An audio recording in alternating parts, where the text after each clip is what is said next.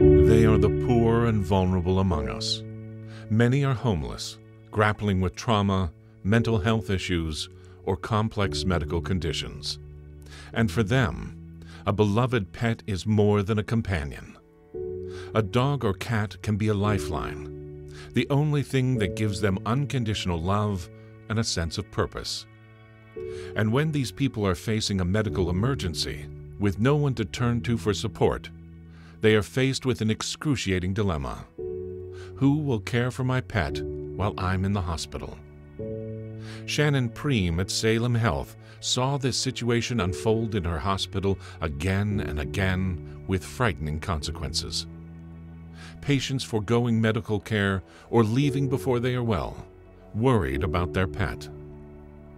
One patient who needed emergency surgery was so distraught she cried out that she would rather die than leave her pet.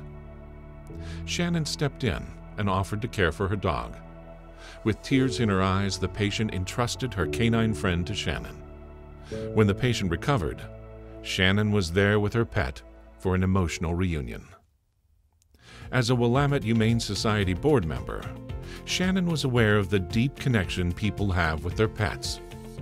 At Salem Health, she recognized more clearly how closely tied animals are to our health and reason for living. So Shannon and her colleague Sherry Partridge formed Fetch, organizing foster homes and in-home pet care for patients in crisis, partnering with Willamette Humane Society for emergency boarding. Fetch provides a safety net, a last resort for the forgotten members of our community. They don't just provide patients with care for their pets, they provide hope.